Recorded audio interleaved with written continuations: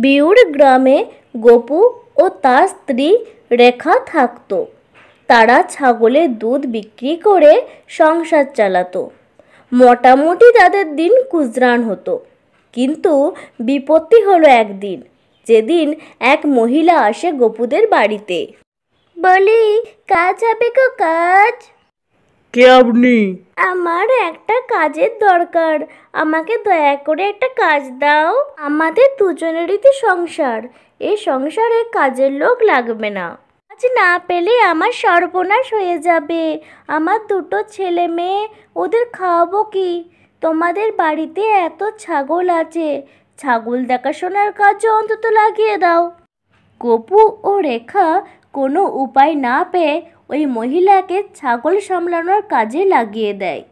সারা দিন এই মহিলা সাধারণ রূপে থাকলেও রাত বারোটা বাজলে আসল রূপে ফিরে আসে এবং প্রতিদিন রাতে একটা করে ছাগল ধরে নিয়ে গিয়ে পাশের বনে গিয়ে খেতে শুরু করে।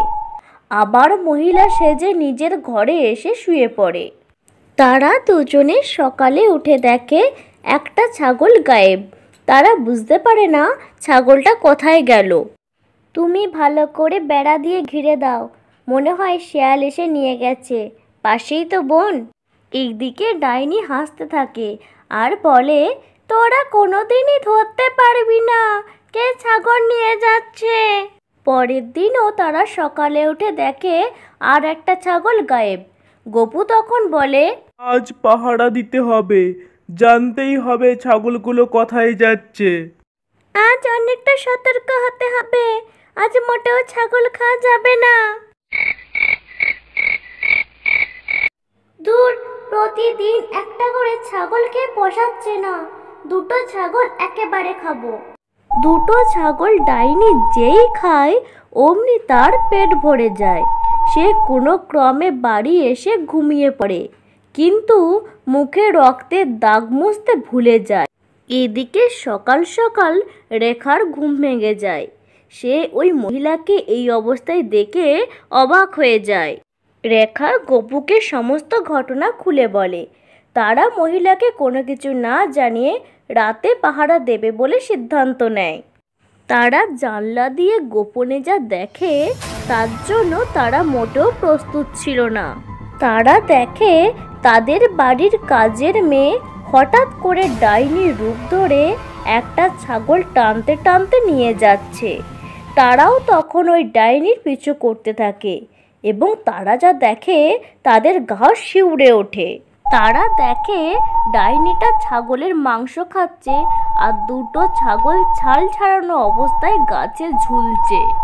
তারা তখন সবটা বুঝে যায় এবং পরের দিন সকালবেলা ওই মহিলাকে তাড়িয়ে দেয়। তোরা কি ভেবেছিস? আমাকে তাড়িয়ে দিলে সব সমস্যার সমাধান হয়ে যাবে? ওদের ছাগলের স্বাদ আমার মুখে লেগে আছে। এত সহজে আমি হার মানছি না। এদিকে পরদিন গপু ছাগল চড়াতে বের হয়। বাড়ি আসতে আসতে প্রায় সন্ধে হয়ে যায়। সে দেখে পথে একটা ছাগল দাঁড়িয়ে আছে এবং গপু তখন ভাবে আহারে সন্ধে হয়ে গেছে না জানি কাদের ছাগল বনের কোনো পশু বা শেয়াল বেরুলে একে খেয়ে নিতে পারে। যাই সঙ্গে করে নিয়ে যাই কেউ খোঁজ করলে দিয়ে দেবো। গপু জানতো না সে কাকে সঙ্গে করে নিয়ে যাচ্ছে। আসলে সে ছিল একটা ডাইনি যে ছাগলের রূপ ধরে ছাগলের মাঝে ঢোকে, ছাগলের মাংস খাবে বলে। তোরা কোনো দিনই আমাকে ধরতে পারবি না। আমার তোদের ছাগলের মাংস মুখে লেগে আছে।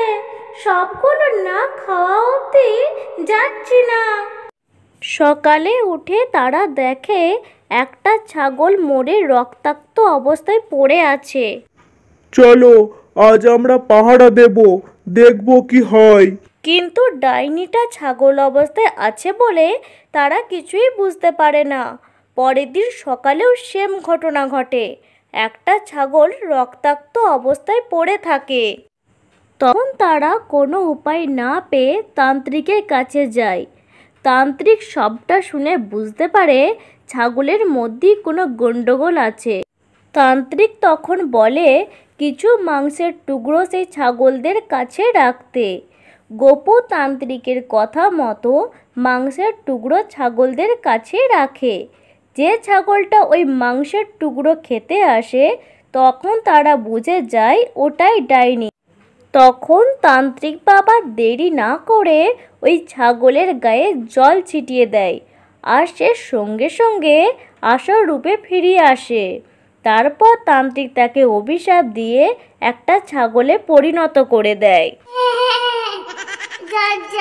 কি হতে চেয়েছিল আর কি হয়ে গেল? বন্ধুরা আজকের গল্পটা যদি তোমাদের ভালো লেগে থাকে তাহলে লাইক করে সাবস্ক্রাইব করতে ভুলো না। পরের দিন আবার দেখা হবে নতুন কোনো গল্প নিয়ে।